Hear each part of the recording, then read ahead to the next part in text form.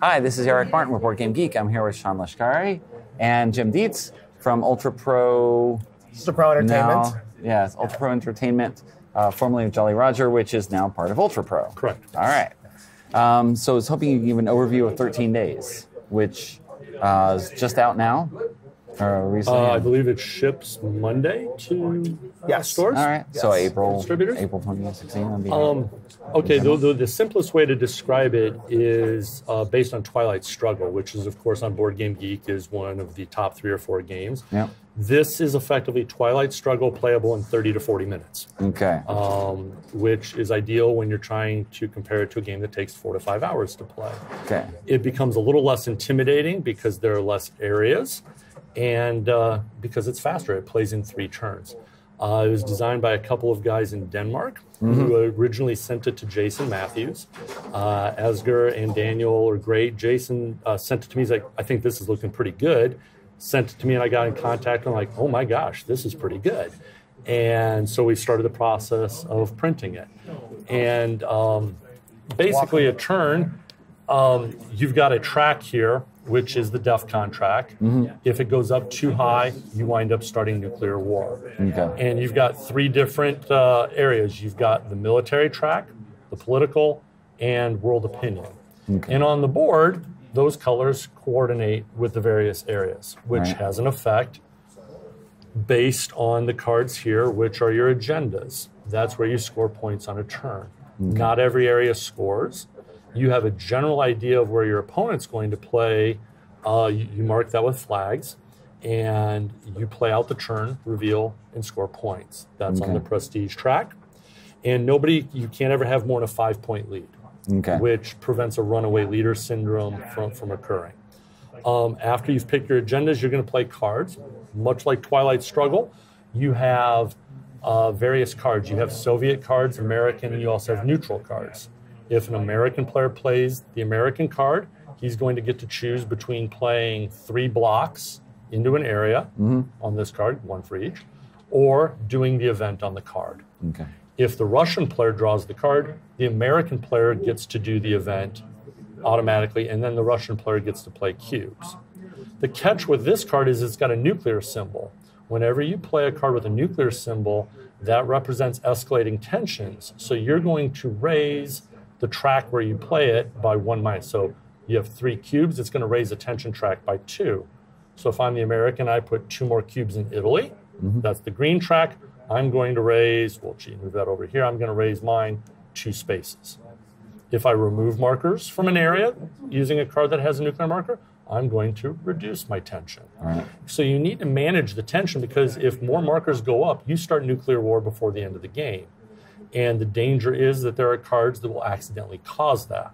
Right. Or you can engineer your opponent into starting it, much like Twilight Struggle. So that you're going to go through and do this for three turns. At the end of each turn, the tensions move up.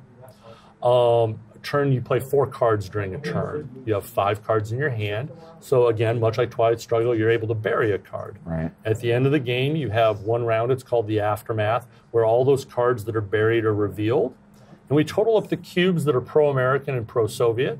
Whoever has more gains two victory points. Okay. The beauty of the game is I've had a lot of people, oh, Twilight Struggle is way too difficult. This is way too difficult to play.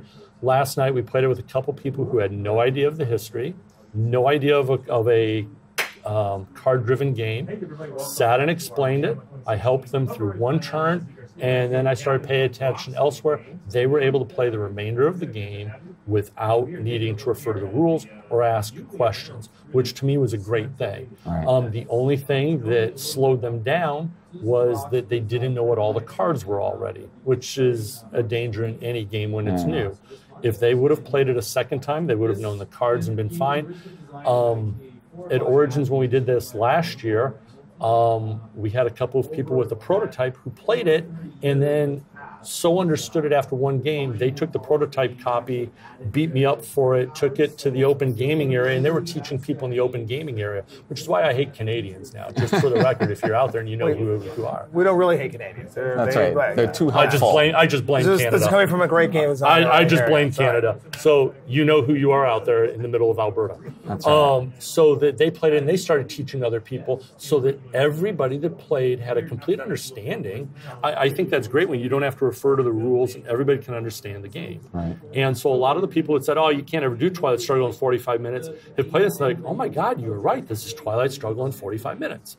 The one other thing we've done for the game that I think is important with, with history games, whether they're a war game, uh, social game, Euro game, however you want to put it, is um, we included a brief history in the game of what each of the cards is and the chronology of the history because we're at a point 53 years later nobody realizes how close the world came to nuclear war and i think that's an important social point so that you can read it it's a brief history it's in a separate book It's actually Um, the one that you're holding right there underneath there. There's Yep. the rules, and that's the history book. that, that we wrote so that people can have an idea of the cards they're playing that they're not just playing three te- you know three three markers that Right. they understand what XCOM was beyond a really cool computer game um, what It's what will Fidel now. Castro yeah.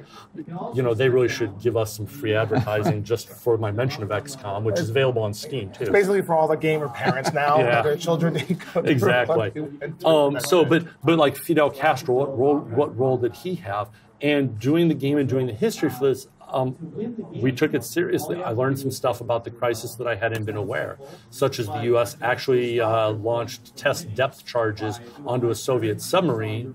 And that on that sub, they had to take a vote whether to launch nuclear missiles at the United States. They needed an uh, unanimous 3 0 vote the executive officer refused to give in to the political officer. If he would have given in, the world would be ended. So the courage of one man on a Soviet sub kept us from nuclear war. I had not really been aware of that until we did this game.